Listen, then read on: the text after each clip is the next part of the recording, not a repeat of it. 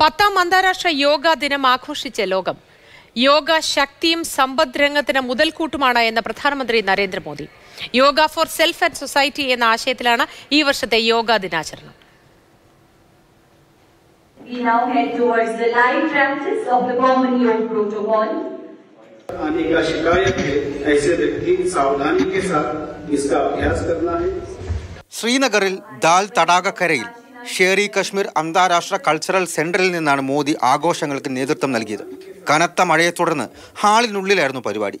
യോഗ ശക്തി നൽകുന്നുവെന്നും സമ്പദ് രംഗത്തിന് മുതൽക്കൂട്ടാകുന്നുവെന്നും മോദി.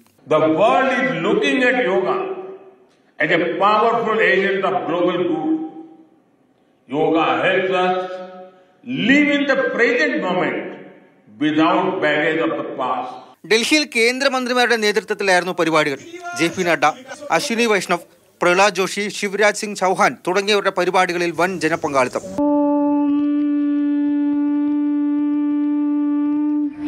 ലഡാക്കിലെ കൊടും തണുപ്പിലും രാജ്യാന്തര അതിർത്തികളിലും നാടുകാക്കുന്ന സേനാ വിഭാഗങ്ങൾ യോഗാദിനം ആഘോഷിച്ചു.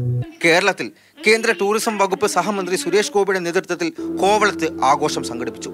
മഴ വകവയ്ക്കാതെ യോഗാഭ്യാസം. Shashangasana on the floor in front of you and stretch your both arms. Palakkad Tharekkad finance ഹാളിൽ വെച്ച് ബി ജെ പി സംസ്ഥാന അധ്യക്ഷൻ കെ സുരേന്ദ്രന്റെ യോഗാഭ്യാസം. വ്യക്തിക്കും സമൂഹത്തിനും യോഗ എന്ന സന്ദേശമാണ് പത്താമത് അന്താരാഷ്ട്ര യോഗാ ദിനം ലോകത്തിന് നൽകുന്നത്. പ്രതിവർഷം യോഗയുടെ ഫലപ്രദമായ പ്രയോഗം വർദ്ധിക്കുകയാണ് എന്നും ലോകത്തിന് മുന്നിൽ വിളിച്ചു പറഞ്ഞ് നമ്മുടെ രാജ്യം. മാതൃഭൂമി ന്യൂസ് ഡൽഹി.